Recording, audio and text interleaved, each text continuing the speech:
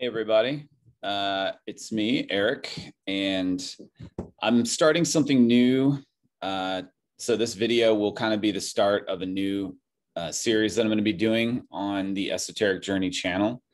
Um, something that I've been wanting to do for a while and just had other things going on, and everything's kind of lining up right now, uh, especially with synchronicities happening. Um, so, I felt like you know this was the time that i wanted to start doing this.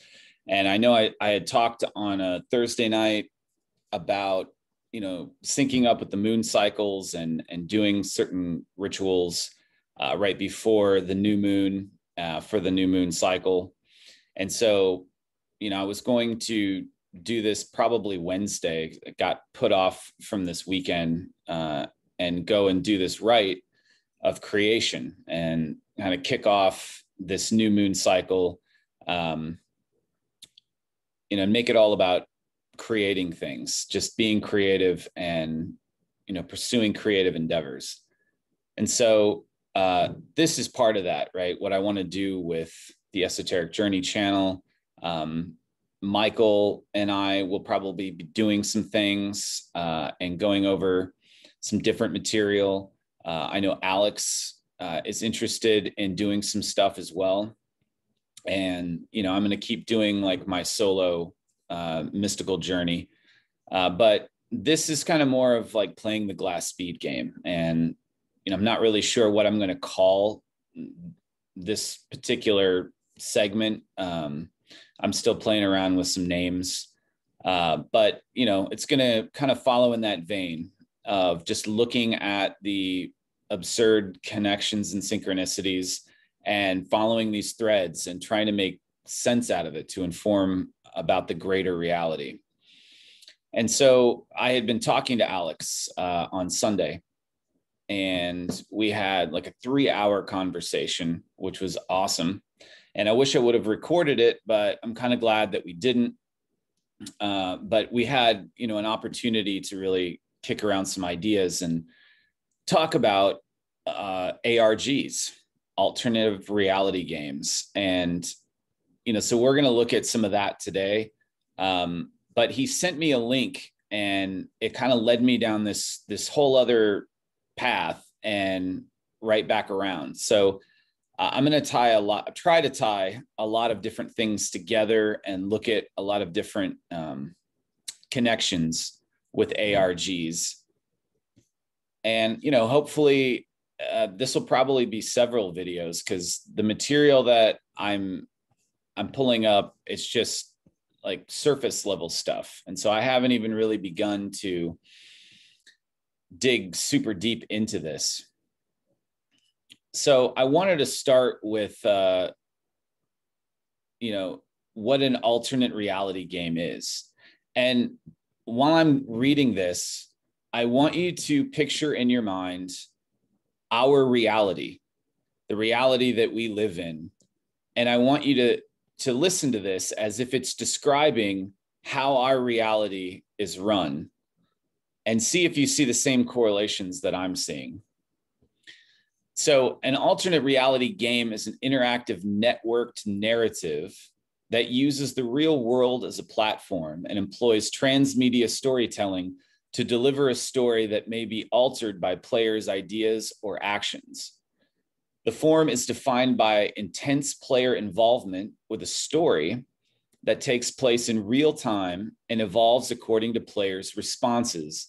Subsequently, it is shaped by characters that are actively controlled by the game's designers, as opposed to being controlled by an AI, as in a computer or console video game players interact directly with characters in the game, solve plot based challenges and puzzles, and collaborate as a community to analyze the story and coordinate real life and online activities.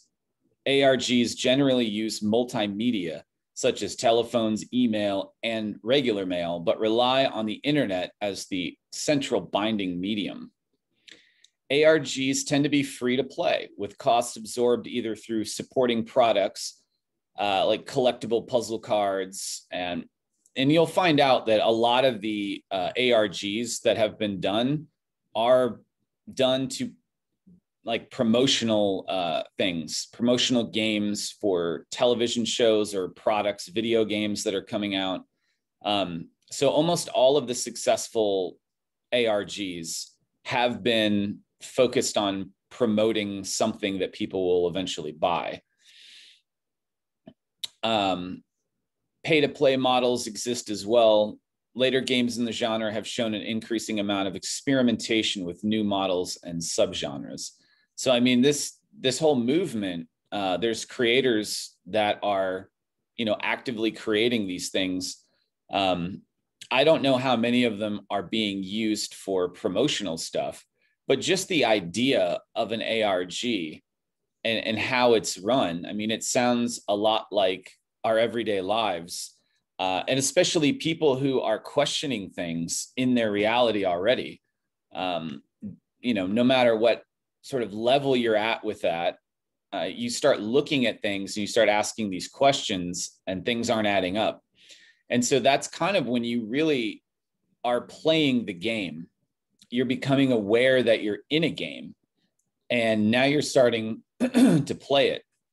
Whereas, you know, you that the term npc gets thrown around a lot for you know people who just don't seem to understand what we understand and you can kind of see that in a game scenario in a game environment somebody who's not aware that they're in a game uh, would be considered an npc a non-playable character and only the people who were aware that they're in a game and are actively trying to search out the boundaries of the game uh, and you know see what they can and what they can't get away with.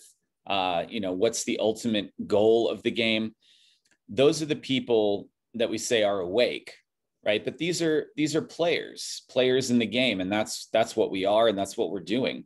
Uh, whether we're you know playing the overall ARG or we're playing our own game within the game, which I'm going to get to in a little bit uh, when we start talking about the the four main terms that people need to know, and we'll get to that. Um, there is a great deal of debate surrounding the characteristics by which the term alternate reality game should be defined. Sean Stacey, the founder of the website Unifiction, or Unfiction, I guess it is, has suggested the best way to define the genre was not to define it, and instead locate each game on three axes rule set, authorship, and coherence in a sphere of chaotic fiction that would include works such as the Encyclopedia and street games like SFO as well. Several experts, though, point to the use of transmedia, the aggregate effect of multiple texts and media artifacts, as the defining attribute of ARGs. This prompts the unique collaboration emanating from ARGs as well. Um, and just go on. So here's this unique terminology though, and this is kind of really where it it just it really grabbed me as I'm reading this and I'm thinking about, you know, from my perspective where I'm at right now, I'm looking at I've already been looking at life as a game. And this just further reinforces it. And so these are the essential terms to understanding discussions about ARGs puppet master. A puppet master or PM is an individual involved in designing and or running an ARG. Puppet masters are simultaneously allies and adversaries to the player base, creating obstacles and providing resources for overcoming them in the course of telling the game's story. Puppet masters generally remain behind the curtain while a game is running, the real identity of puppet masters may or may not be known ahead of time. So, if you're familiar with the Truman Show, which everyone probably has seen that, then this would be the you know the main creator of the Truman Show, uh, Christian, who you know sits up in his tower and watches everything unfold. This would be the the puppet master, the creator of the game that is the Truman Show. And then we have the curtain.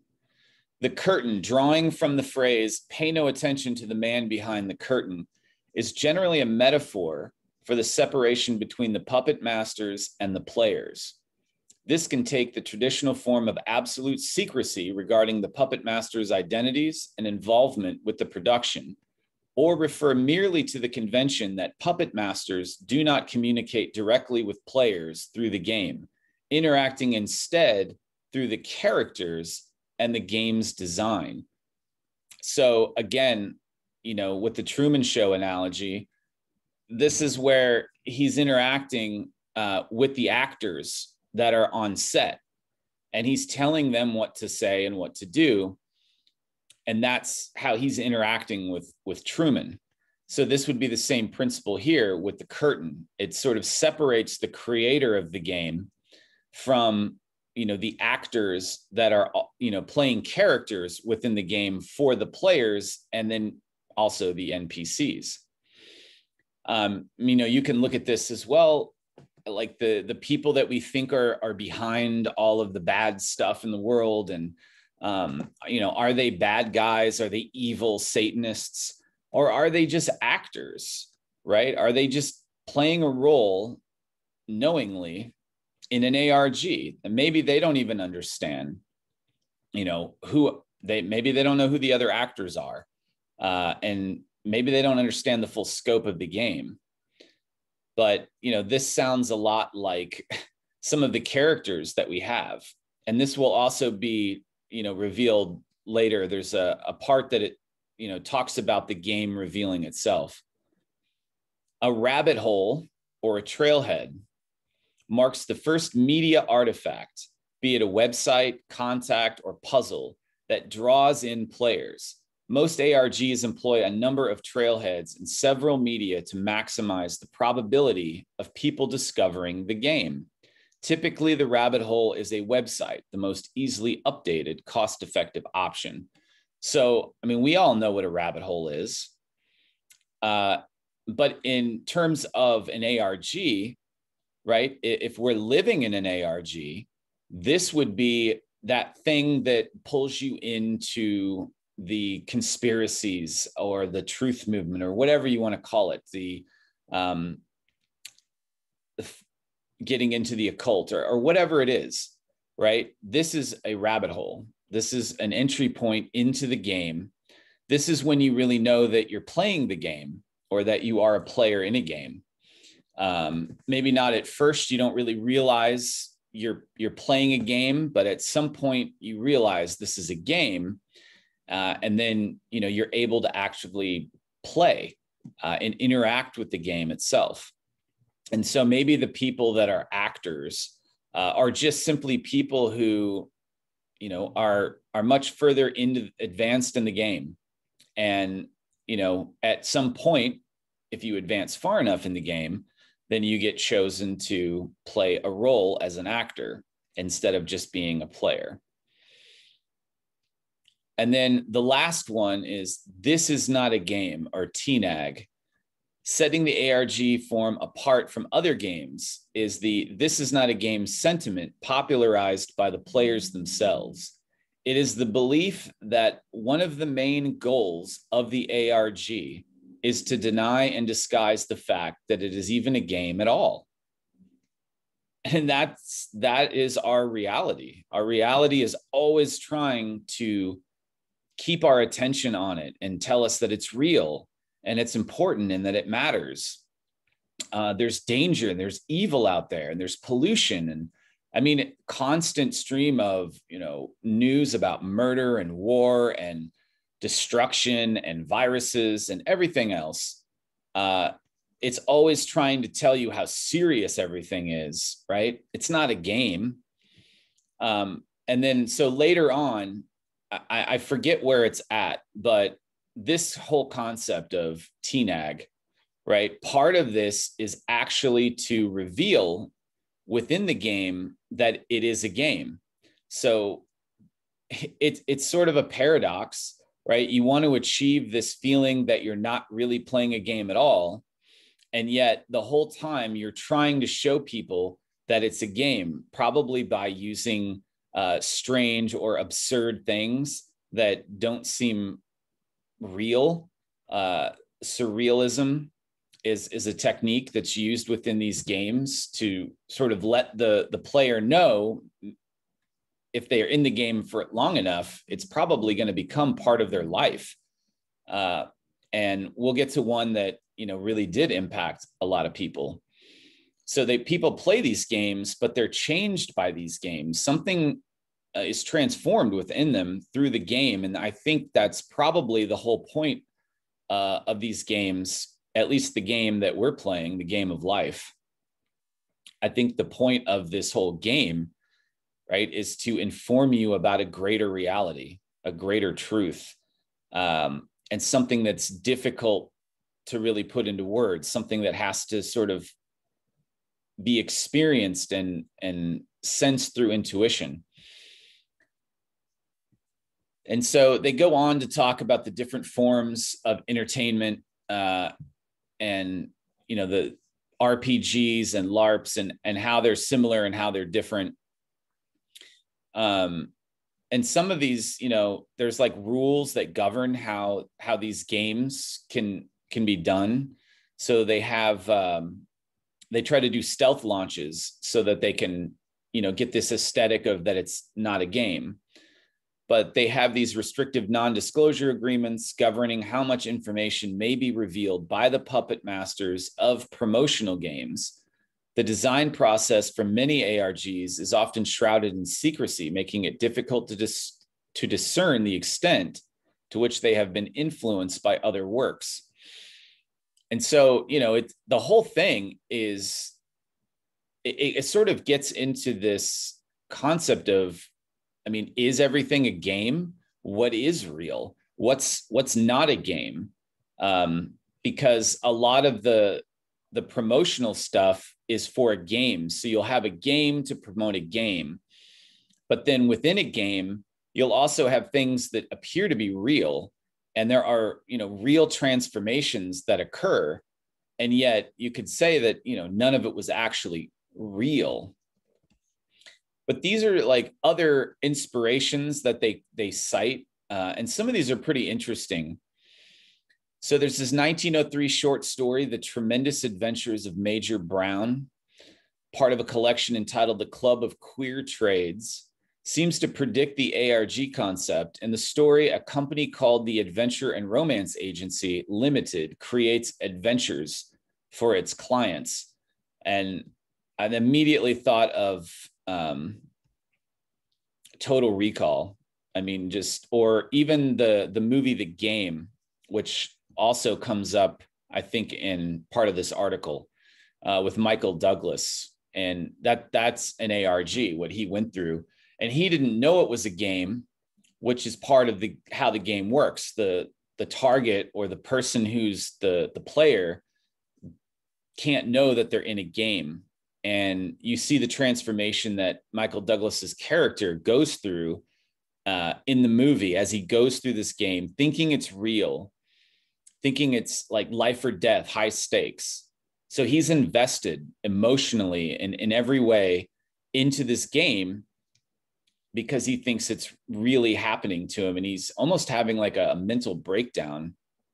But at the end of it, right, he's trying to get over his dad's suicide and they rig the whole game so that at the very end, he's going to jump and kill himself because all is lost and it's hopeless. And he crashes through a glass dome and lands on this giant inflated mat and everybody's there for his birthday party. That was his entrance into his birthday party. And you know this guy was a billionaire so his brother set the whole thing up for him and it was an arg and this is i think back in like the mid 90s when this movie came out.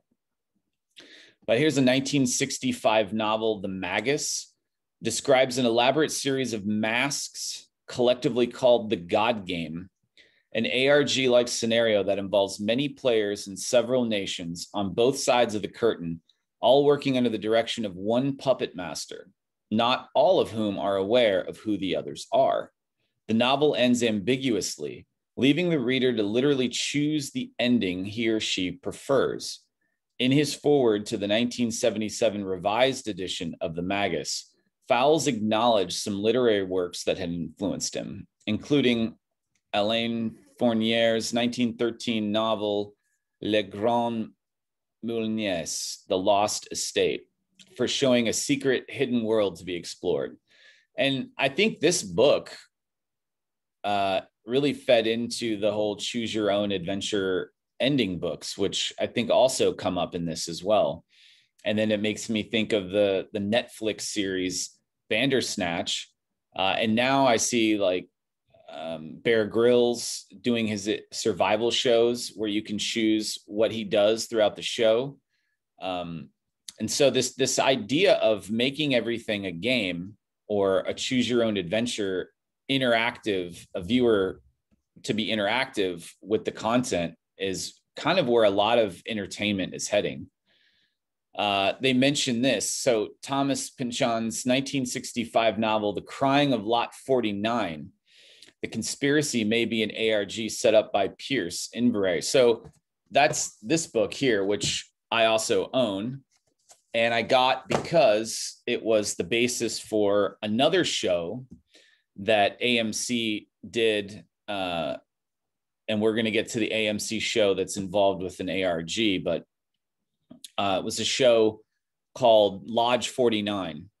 And it, you know, it was all about archetypes, uh, you know, the tarot and all of these different things.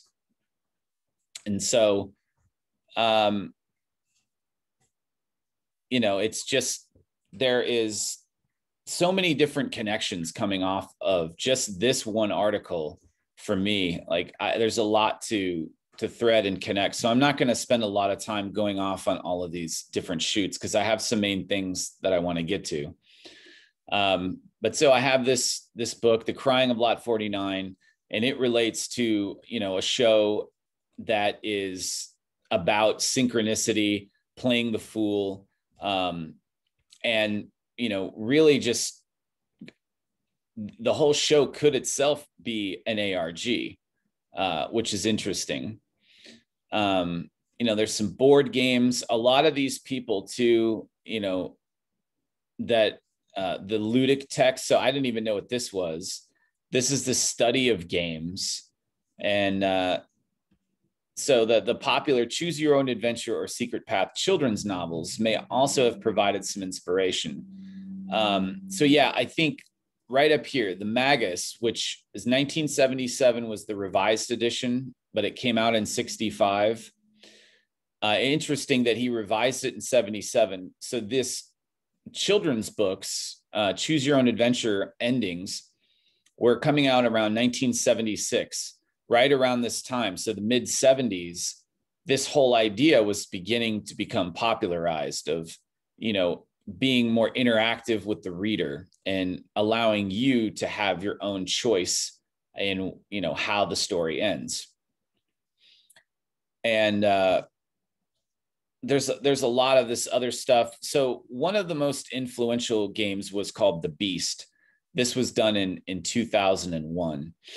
Um, but this was also like a promotional thing. I think it was for uh, a video game, but you know, there's plenty of other ARGs that have been done, but a lot of these started around 2000 uh, is when we started to see these things really. But the concepts have been around for a while, and probably I could go back even further uh, and look at different works of fiction, and you can see the concept there as well, probably even back into the 1800s. So, you know, I'm I'm looking at this and I'm thinking that like ARG, that like the way they're described, really just describes, you know, the world that we're living in and the reality that we're in right now. And you know, looking at things as a game, I start to try to make connections and see, you know, what I come up with. And so I remember watching um, a show called Dispatches from Elsewhere, which turns out was made from uh, a documentary that came out in 2013. Dispatches from Elsewhere came out, uh, I, I believe, end of 2019, beginning of 2020 which is when I watched it, like January 2020. And so this uh, this documentary was called The Institute, 2013 documentary film directed by Spencer McCall, reconstructing the story of the Jejune Institute, an ARG set in San Francisco. Through interviews with the participants and the creators, the game was produced in 2008 by Oakland based artist Jeff Hull. Over the course of three years, it enrolled more than 10,000 players who, responding to eccentric flyers plastered all over the city, started the game by receiving their induction at the fake headquarters of the Institute, located in an office building in San Francisco's financial district. And so it doesn't really go too much into the game itself, and there's not a whole lot um, on Wikipedia about the game. I don't even think they have an article for the Jejune Institute, which was loosely what they they titled the game or something about nonchalance, the society of nonchalance or something like that. And but it all centered around the disappearance in San Francisco of this girl. And the Jejune Institute was looking for her because she was the key uh, to uh, you know unlocking all of this technology. And so immediately i thought of the show on netflix called the oa right? And the oa in season two it's all about a girl who's disappeared and her grandmother hires this detective to go and find out what happened to her. And it turns out she was playing an arg and she was solving puzzles and it led her to this old house where all of the players eventually ended up. But the house itself was a puzzle that had to be solved in order to get to this window which was a window into the multiverse. So you could see all of the different dimensions from this window and travel into them. And so this girl had vanished within this house and she was playing an ARG. Right. So it, it's very odd that, you know, it's an almost an identical plot. And then you have all of the people that play the game uh, that are trying to find her or find out what happened to her. And so that's, you know, in the OA, that's the other cast of characters. You got the detective, and then there's other kids playing the game as well. But they're really uh, trying to get at, you know, how to get to the rose window and, and how to find this girl that's disappeared. So this was like the first connection really to the OA. And, you know, the OA itself uh, has so many different interesting offshoots that you could go down. Uh, I mean, with interdimensional travel. But what really stands out about the show are the body movements that the people do in the show in order to travel into this other dimension they have to master these movements that they do. And this allows them in some way to travel into another dimension. Uh, but the you know the institute being one of probably the most famous args is one of the few that doesn't actually promote at least not at the time a product uh, they they later made you know this film about people coming out of it. And so i was actually just going to play a little bit here from uh, the trailer. I think it's about three minutes long and let's hope there's not a bunch of music in it. Monday got to work and i had an e- email um, sent to an email address i don't use a whole lot and it was uh, from the elsewhere public works agency asking me to be at a certain intersection by the payphones. It was 24th and Mission at noon. So eventually I got a call on my cell phone from Commander 14 uh, checking in saying that there was that the Jejune Institute was moving in or something about the green energy archons. I don't remember what he said. the closure of a temporal vacuole is imminent. Repeat, imminent. Without physical jamming to offset transneural interference, a negative loop cascade sequence could be initiated. Do you see 24th Street? Yeah. Cross mission and continue down 24th. I will be making contact at that location in five minutes' time. When I. So I just want to point out the trailer for this documentary has a lot of footage from people playing the game. So obviously, uh, the the the filmmaker who did the the institute uh, probably this was a plan from the beginning. So they were clearly recording people while they were doing this ARG because they were going to use it in footage for the documentary later. I just wanted to point that out. Say ornithopter, you say jumpsuit. Ornithopter. Jumpsuit. Ornithopter. Okay, now go. Hurry.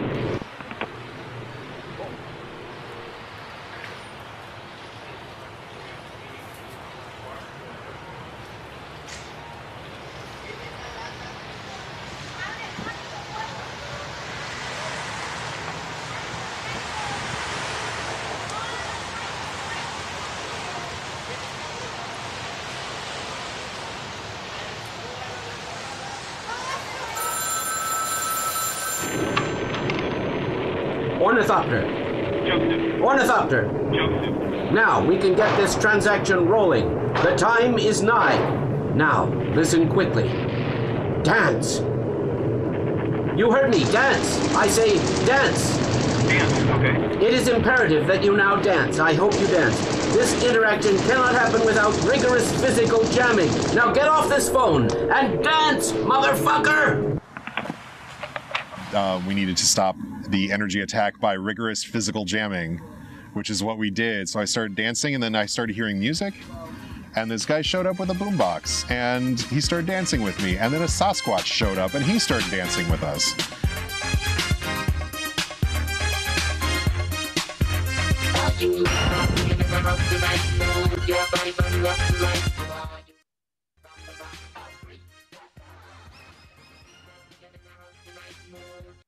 But anyway, I think you get the idea. So, you know, they were just doing like really, really bizarre uh, things on for this ARG.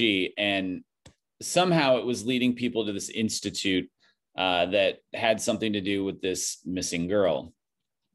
And, you know, I I just found the connections to the the OA pretty interesting. Um, and so I was talking with Alex during this conversation, and you know, we were talking about ARGs, uh, and then afterwards, he sent me a link uh, in an email, and we he had mentioned something about Carlos Castaneda and how possibly Carlos Castaneda made up Don Juan, and he was a fraud, and you know he he uh, obtained his PhD in anthropology by, you know, fraud, making up the entire thing. And I'd never heard this, and I thought it was bizarre. But not only that was he started a movement called tensegrity, which is based around these ancient movements that he learned from Don Juan. And they were supposed to do magical things. And in fact, the link that he sent me was for a video uh, of these women right? And there there's more to this story but i just want to like tie this all together here. So this clip is probably about 16 minutes long uh and you know but it's it's very interesting. So there's three women in this video that you're going to watch and they'll tell you what their names are.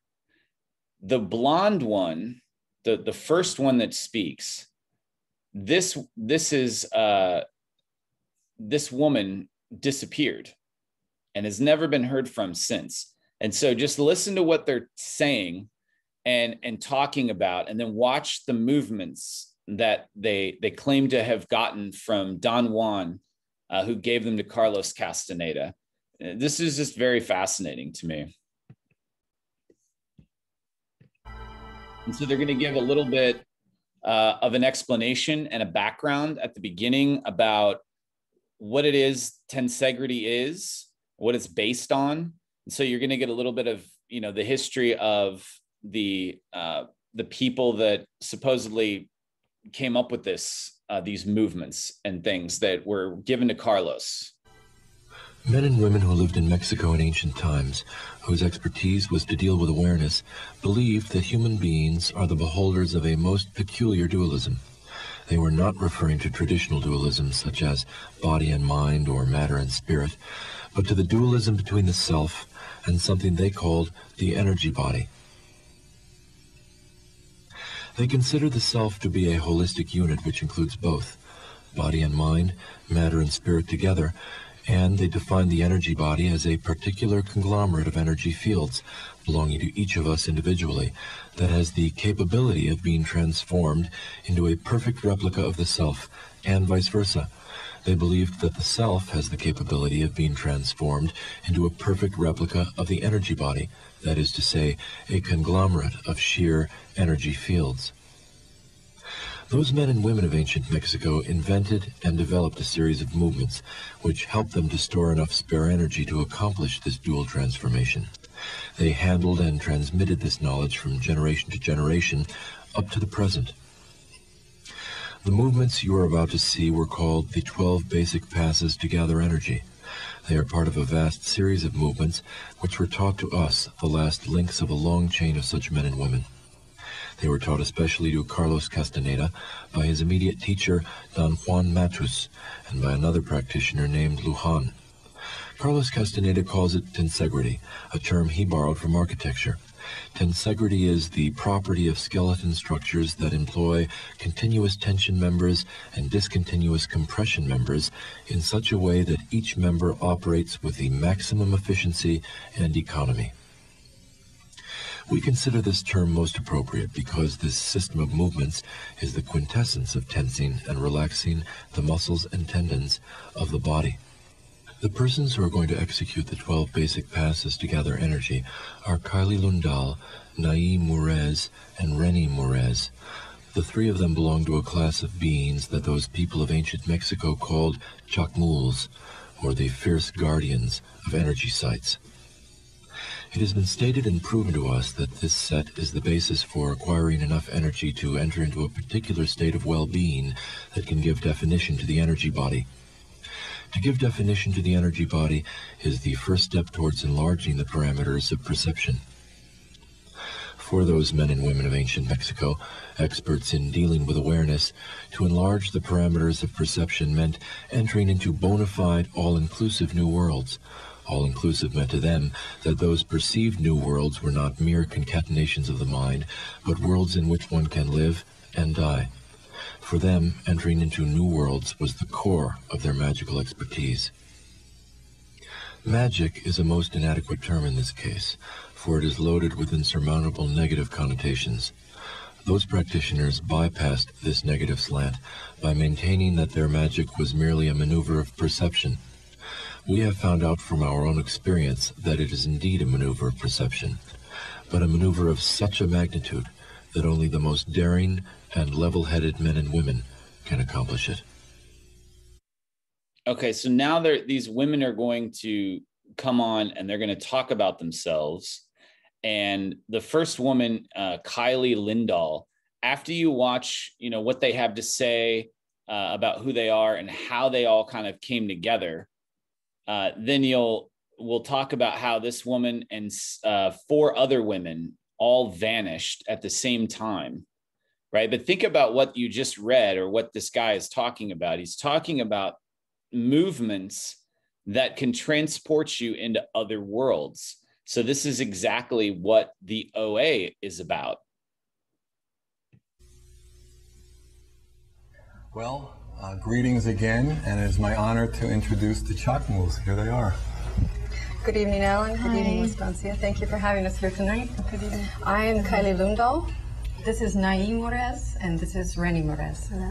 We're very happy to be here. Thank you. Um, we are here tonight on your show because we would like to present you with a sample of movements that we practice.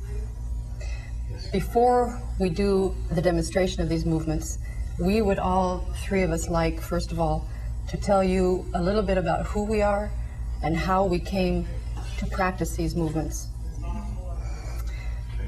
25 years ago, an anthropologist by the name of Carlos Castaneda wrote and published a book entitled Teachings of Don Juan, a Yaqui Way of Knowledge. In that book, he described his experiences as an apprentice of a Mexican Indian sorcerer by the name of Juan Matus. Over the years, Carlos published eight other books. These books dealt with different topics about his experiences as an apprenticeship with Don Juan. And because of that, his name and the name of his teacher, Don Juan Matus, became known worldwide. With that, all of Castaneda's books were translated into 17 different languages.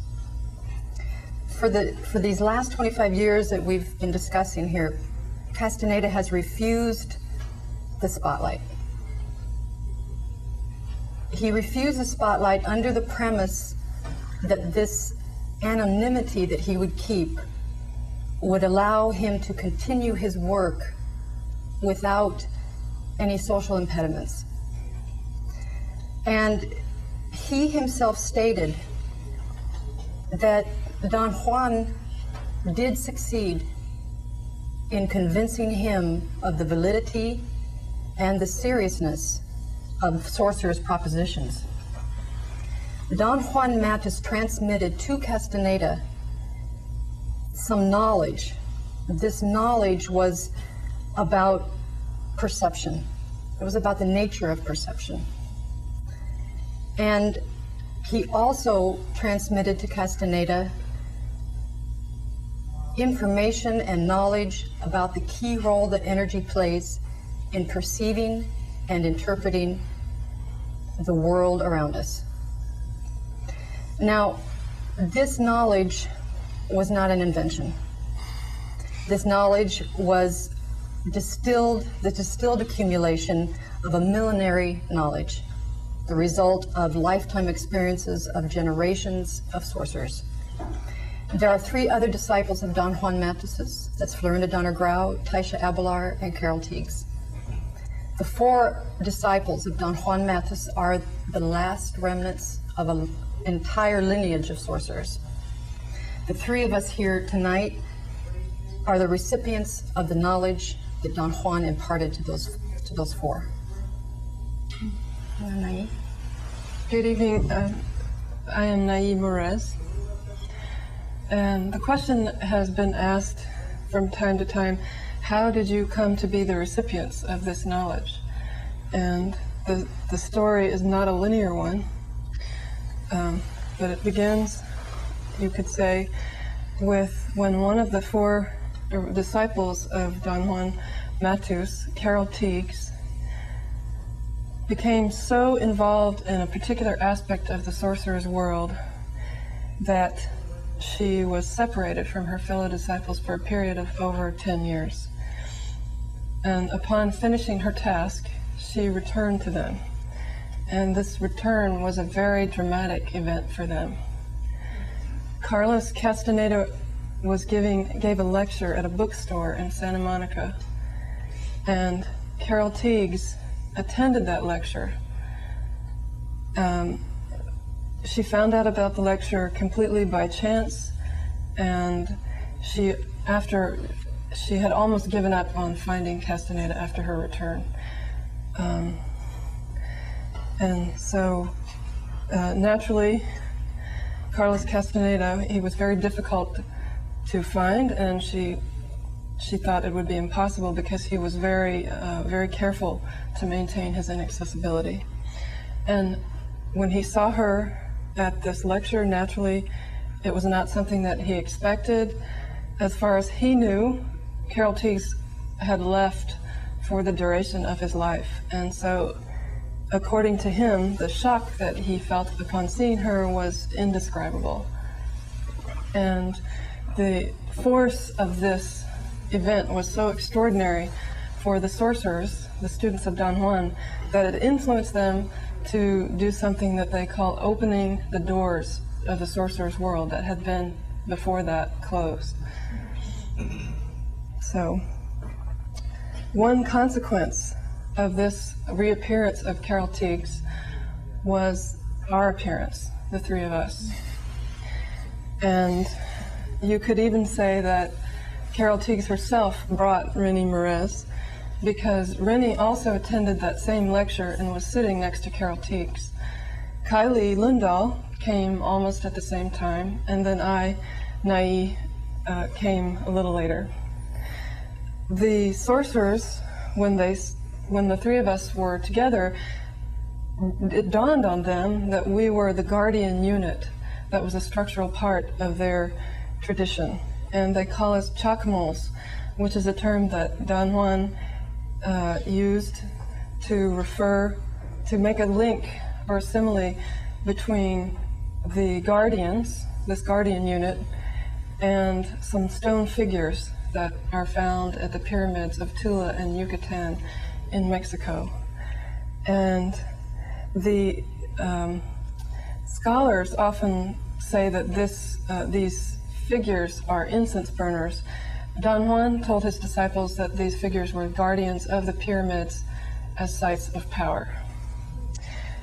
The word Chacmol itself comes from a Mayan town of that name, um, but it's a name that is only used, it's, the application of this name is particular to this generation of sorcerers.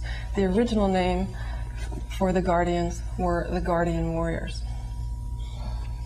And good evening, Hi, My name is Renata Murez, and um, our movements are called tensegrity, which is a term borrowed from architecture, which refers to the internal balance attained through the compression and decompression, relaxation and tension of uh, skeletal structures. We find this term most appropriate for our movements because basically a, a similar internal balance is attained in the human form through the relaxation and tension of muscles and tendons. Um, tensegrity is based on one of the cornerstones of the sorcerer's world, and this is basically what they call the magical passes. Don Juan Matus told the four, his four disciples that um, the magical passes were not invented, but rather they were discovered. Um, he also told his disciples that um, when the sorcerers went into dreaming, they could see that within within the human form there was a special sort of mysterious binding force that held all the conglomerate of energy fibers together. Astronomers have said that there that there is a similar binding force that holds the universe together. Without this force, the universe would dissipate. Don Juan Matus says that this also would happen to the human form without this binding force. The sorcerers of ancient Mexico found this binding force extremely important to them, and they found that by doing certain movements, they could call their attention at will to this binding force. Oh, okay, to this binding force. Um, this became very important to them because. Um, because basically, if they could call their attention to this binding force, they could change, alter, and do whatever they wanted with their beings. Um, the three of us here have worked with Carlos Castaneda and his disciples for about seven years, mm-hmm. and um, let me see, for yeah, for about seven years, and um, we have basically attempted to how do you say, not transform, but take tensegrity out of the realms of the ancient sorcerers.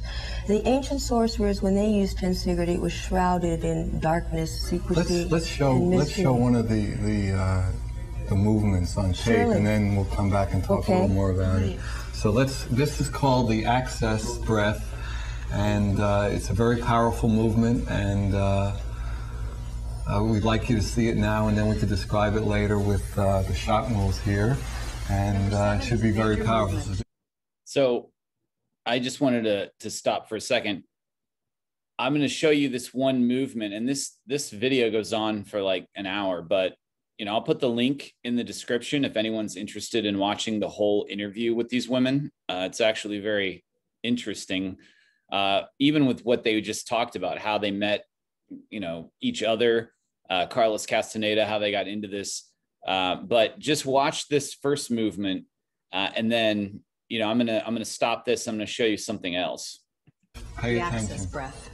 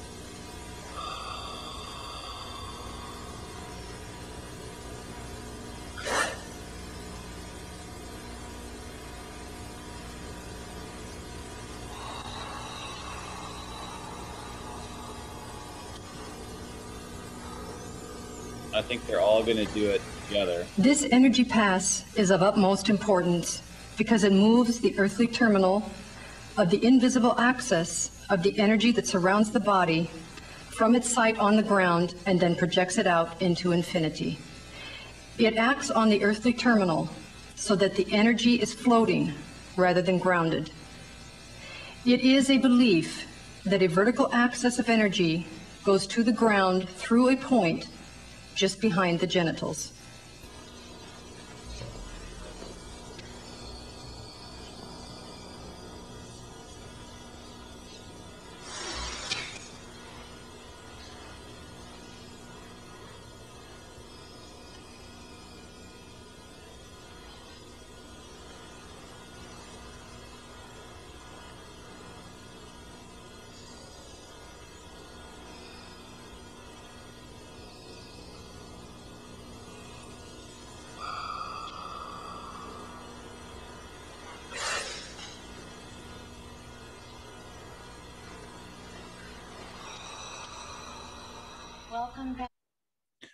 I'm going to stop it there.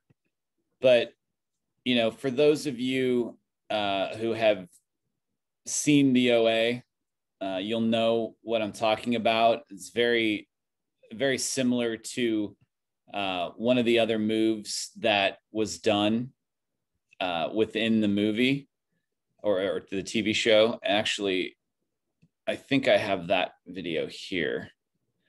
Yeah. So just to give you an idea of if you haven't seen the show, um, you know, just just watch what they're doing. They're obviously doing it much faster than these these women were doing it, but you can definitely see uh, if you watch the link. Uh, if you if you go to the link and watch the rest of it, they do a bunch of other movements, and a lot of them, you know, appear to be something that whoever choreographed this, and we'll get into that guy too uh, you know, obviously was drawing on something like this or this itself. So I'll just show this here real quick. It's like fairly short clip. And I'm going to keep the sound off because they they play music on here. And so these are the movements that you know Brit Marling's character Prairie uh, apparently got in a mystical experience while she was technically dead. And so she brought it back and you know she taught it to the other people she was locked up with. And then they proceeded to get more movements until they got these five movements. And once they had all five movements there were five of them right? And each one of them had to learn all of the movements and they would do them all together. And that would you know in the show it brought a guy back to life, it actually didn't just bring him back to life, it reversed time. Uh, like the blood came off the floor and back up into his body. And so what they're doing, you know, can heal. And, you know, in the video, so I'll go ahead and stop that because they, so they did all of the movements, I guess, and, you know, stopped a school shooting.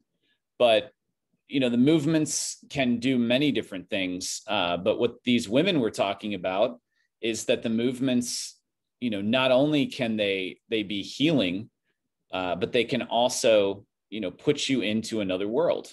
They can you know you can travel to other worlds. And that's exactly what you know these movements are designed to do as well. And so i just i just thought that was so fascinating that you know, Alex sent me this link and I'm watching it, and these women are doing this very OA like body movements. Uh, and, you know, they're talking about how if you master these movements, and she goes on to say in the video that there are like m- over a million of these movements, which I don't know, maybe there are. Um, but, you know, so again, we're, we're connecting back to, uh, you know, the OA and ARGs because when you when I was talking to Alex about Carlos Castaneda and you know the fact that he um let's just pull his his thing up here. And so you know people think that I guess his whole wik this whole Wikipedia article is it tells you about the guy, but it also, you know, puts forth that most people think that he's a fraud. It says there is now consensus that Castaneda's books are works of fiction and that it is unlikely that Don Juan Matus existed. Well, I mean, if Don Juan didn't exist and Carlos Castaneda made all of this stuff up, then he obviously made up these movements that he taught to these women uh, who were then taught it to other people. So, you know, was it all just a scam to, to sell tapes and, and make money and sell books? Maybe. But, you know, the fact that these movements are so, so related to the movements in the OA and then that whole show is shrouded itself in, in weird stuff and Brit Marling and uh, Jason Isaacs. I mean, the, the people on that show, you know, are very interesting to look into as well. Um, but when it, you know, it comes to like traveling to different dimensions, right? We see two very similar body movements for the very same purpose.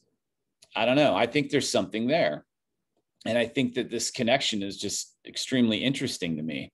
Um, and, you know, they don't even know when Carlos Castaneda was born. Uh, you know, they claim he was born in, he claimed he was born in Sao Paulo, Brazil in 31. But apparently, according to immigration records, he was born on December 25th, 1925, in Cajamarca, Peru. Uh, and Castaneda was his given name. Uh, when he spent time with, you know, Don Juan, how he came to be there, I have no idea because it says that his first three books, which are about Don Juan and and his journeys in South America, um, it's those three books were what got him his PhD in anthropology. So, you know, was he down there just on his own? How did he come to meet Don Juan? Right. And all of the stories are kind of vague. So there does seem to be you know some credibility to the fact that he may have made it up whether or not he did i don't know and honestly i don't think it really matters because the stuff that he talks about in his books uh, you know other people have certainly had similar experiences. So i don't think just because he made up a fictional character don juan to present information that he had to present doesn't make the information bad right? It you know, obviously casts a shadow on the whole thing, but I think you can look beyond that and see that maybe he felt like the stuff he was going to talk about and the, the the wisdom and knowledge he wanted to present wouldn't seem credible coming from an anthropologist who you know had no background in this stuff seemingly so at some point castaneda must have come across somebody that that taught him about these things uh, why he needed to make up a character to present them. Maybe he thought that, you know, uh, a South American um, sorcerer seemed like he was more legitimate source for an anthropologist to talk about this stuff. Who knows? But what's interesting is that the movements that he taught these people, and it seems like it was mostly women, uh, they uh, they were designed to travel into different dimensions and five of these people mysteriously disappeared, and four of them were never found. One of them was found. And so we're going to get into that. Um, let's see here. Yeah, so Tensegrity started in the 1990s. Uh, he was appearing in public to promote the, the Tensegrity model, the materials, um, it calls them magical passes developed by Indian shamans who lived in Mexico in times prior to Spanish conquest. I mean, whether or not that's true, I don't know, because the hand movements she was making uh, are very reminiscent of the you know Hindu mudras that uh, you can look these up. There's so many different ones, and they all have a sort of different energy focus or you know a different purpose. Um, so there's even that yoga incorporates a lot of movement and poses and things like this. And, you know, we know Crowley was very interested in yoga as well as part of his magical practice. Um, so I would imagine many different cultures have some sort of set of movements like this to accomplish the same thing. Um, you know, qigong is you know an energy clearing movement uh, or series of movements to to clear energy fields. So you know, I think all cultures have something like this. At, at least ancient cultures did. Uh, so where you know Castaneda picked up these particular movements, uh, whether it was really from these people in in South America or he came across it and just sort of adapted different cultures movements into his own set. Um, but you know these women anyway got into this. So uh, Carol Tiggs, which the lady talked about, she was kind of the first, and it said that she vanished and Castaneda thought she was dead and then she reappeared. I haven't really dug into that. Uh, that would be something, uh, you know, another rabbit hole to go down on, on this whole thread, uh, whether or not you can verify this stuff. You know, what did this woman really vanish? You know, and then she reappeared. But then when the other women vanish, she's not among them. Uh, this Florinda Donner Grau and Tasha Abelar, uh, those two women uh, disappeared. And they created, along with Carol Tiggs, Clear Green Incorporated in 1995. The organization's stated purpose is carrying out the instruction and publication of tensegrity. So, you know, 1995 is really when tensegrity begins to be promoted. And it's these three women, you know, Carol Tiggs, a woman shrouded in some mystery. Where did she go? How, you know, she, I think she was gone for 10 years or something like that. Uh, and Castaneda never expected to see her again in his lifetime. And then she just shows up at this uh, book reading where those other women happen to be attending. Uh, and I don't know if these women were also there, but these three women started this company, Clear Green, to promote the tensegrity movements. And there's some interesting stuff about his death. Uh, you know, I don't want this video to go super, super long. So I might make another video or two about this, but even the, the cause of death was this certain type of uh, liver cancer, right? And if you look into it, uh, the most common uh, place that this is found is in sub-Saharan Africa, for whatever reason, right? But then his uh, his son, who's not really his son, because he claims he was never married, but he uh, this woman said she married him and had a child uh, that was not his, but put him down, Carlos Castaneda, as the father on the birth certificate. So when Castaneda died in Los Angeles from whatever cancer, you know, this is uh, that's very common in sub-Saharan Africa, he challenges the will because he said the will was signed 48 hours before Castaneda's death but the death certificate states metabolic encephalopathy. That's a mouthful, but uh, it's a neurologic disorder caused by exposure to neurotoxic organic solvents such as toluene following exposure to heavy metals such as manganese as a side effect of melarsoprol treatment for African. Anyway, along to shorten all of that, it's a drug it's a side effect of a drug that treats stage two of sleeping sickness, which is caused by the tsetse fly of sub Saharan Africa. So, here again, you have this weird sub Saharan African connection. And I, I, haven't been able to find any information if Castaneda spent any time prior to his death in sub Saharan Africa.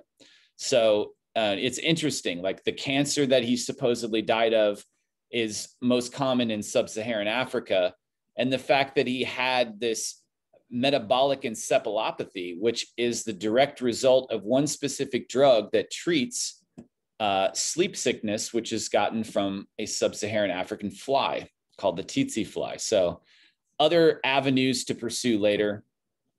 Um, so here's what I wanted to get to though. After Castaneda stepped away from public view in 73, he bought a large multi dwelling property in LA, which he shared with some of his followers. Among those who lived there were Tasha Abelar, formerly Marianne Simcoe, and Florinda Donner Grau, formerly Regine Thal. So they changed their names for for whatever reason, and they didn't change them to anything particularly South American Indian sounding.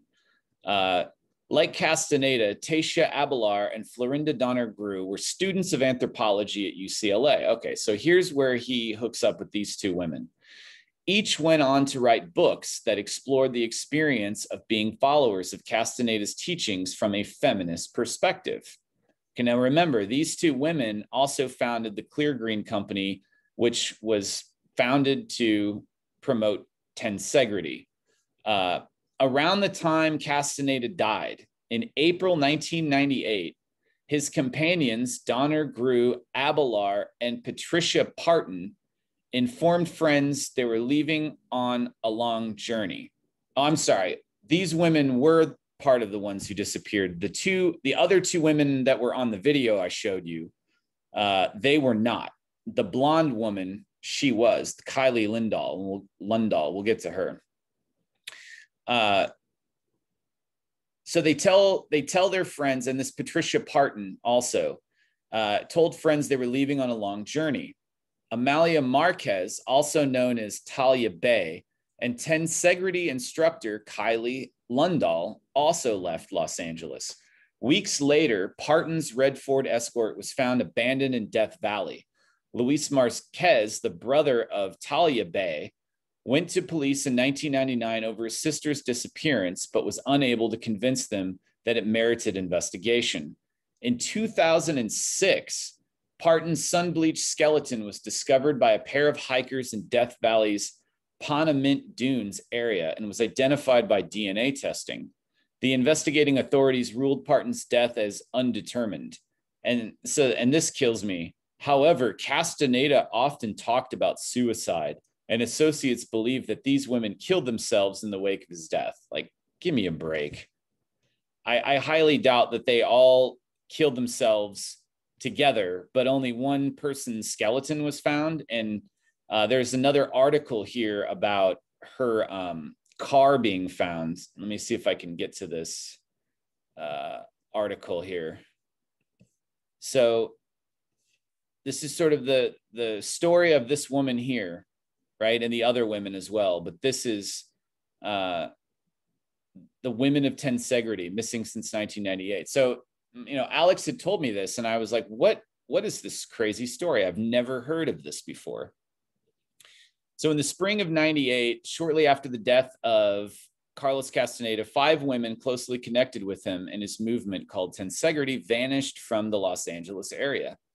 Florinda, Tasha, Amelia, Kylie Lundahl, and Patricia Lee Parton.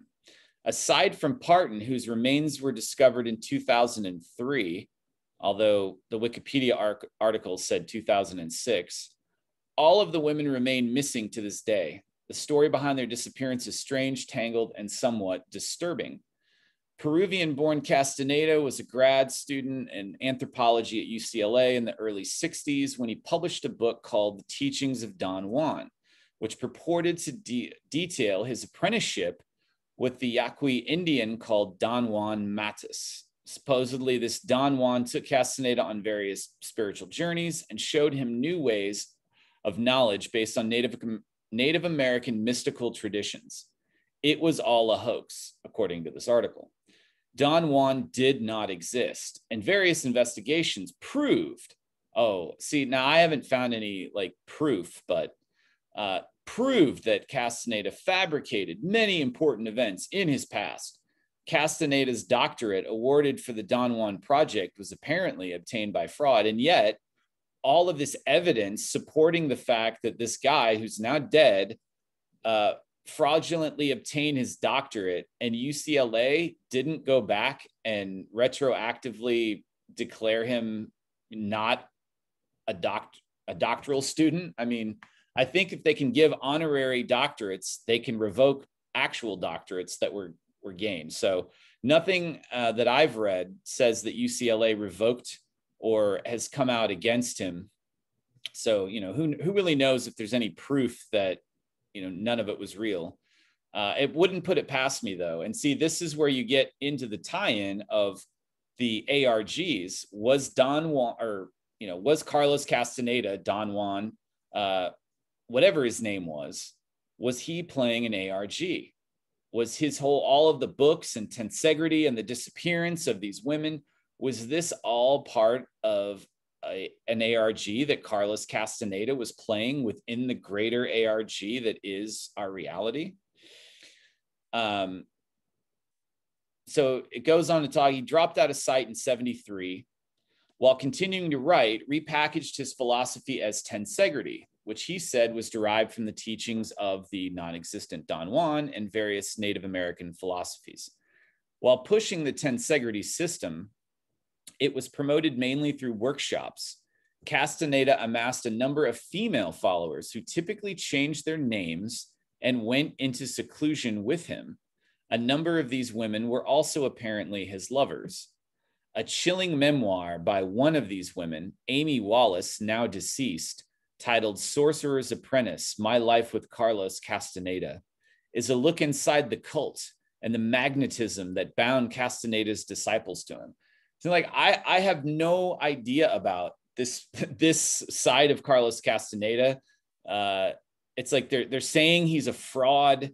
Um, Don Juan's not real. He made it all up, but he started a cult using all of this information, and he lured these poor innocent women into this cult, and you know got many of them to be his lovers. I mean, who does this also sound like?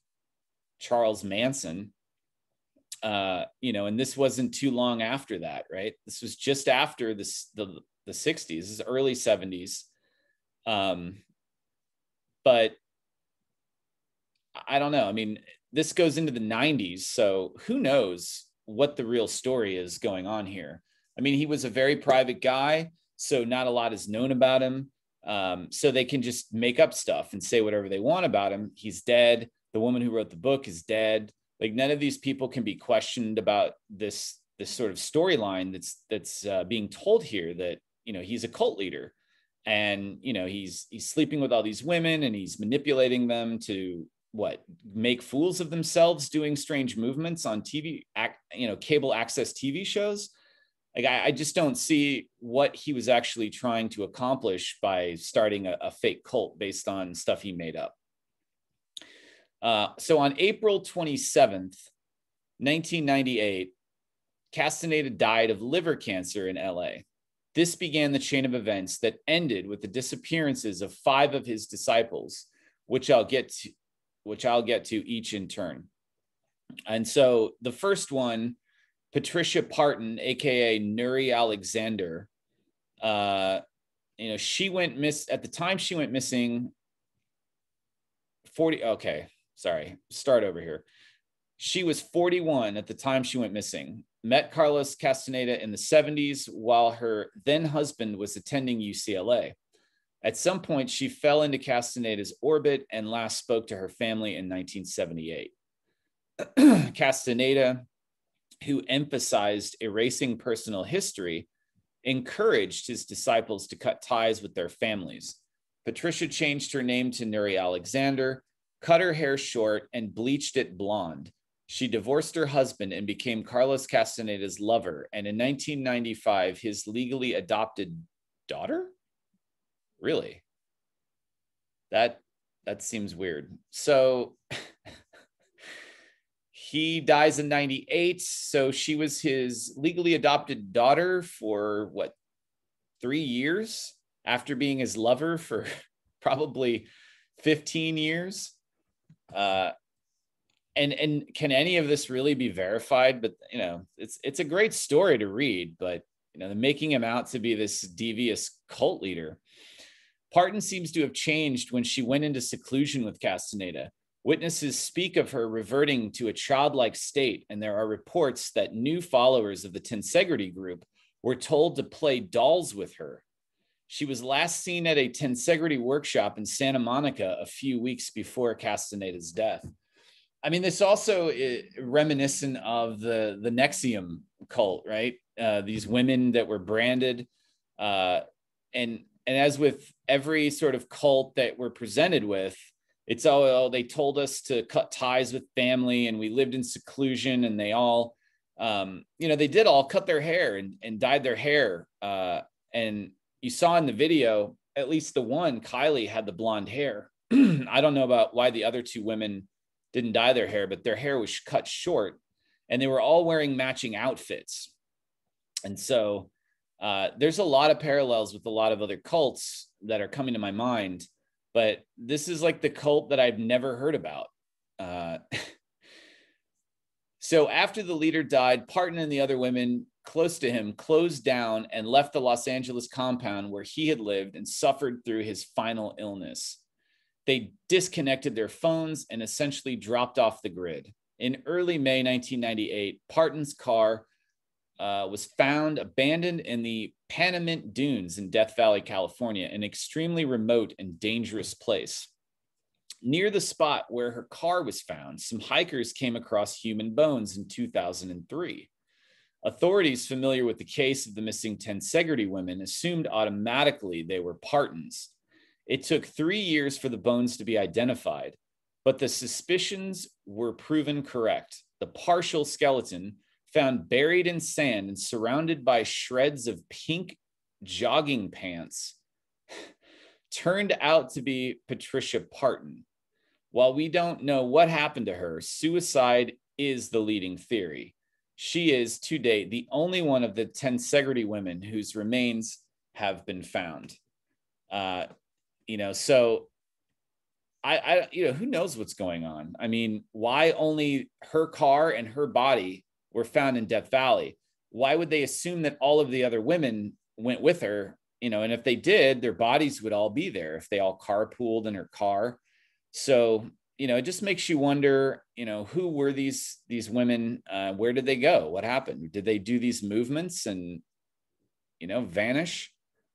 Uh, so Kylie Lundahl, this this this woman is the one that we saw in the video.